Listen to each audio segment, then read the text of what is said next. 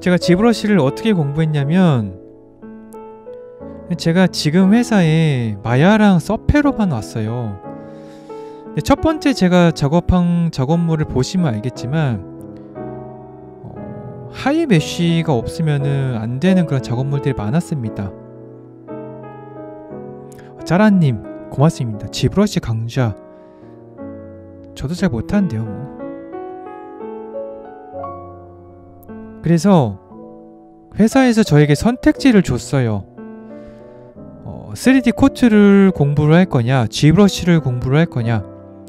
저는 ZBrush가 죽기보다 싫었기 때문에 3D Coat를 선택을 합니다. 거기서 어떻게든 high mesh, high 데이터를 만들어 보겠다. 하지만 ZBrush를 피해서 3D Coat를 시작을 했지만 결국엔 저도 알고 있었어요. 나는 지브러쉬를 하지 않으면 안 된다는 걸 알고 있으면서 도망만 다닌 거예요.